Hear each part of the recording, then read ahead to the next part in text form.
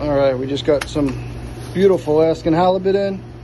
We got cold water codfish fillets.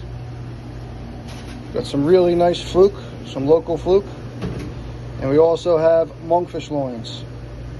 Just cut some really nice local monkfish loins. We got a sale on Alaskan king crab. The big size legs, $36.99 a pound. Stop in at Jodee's.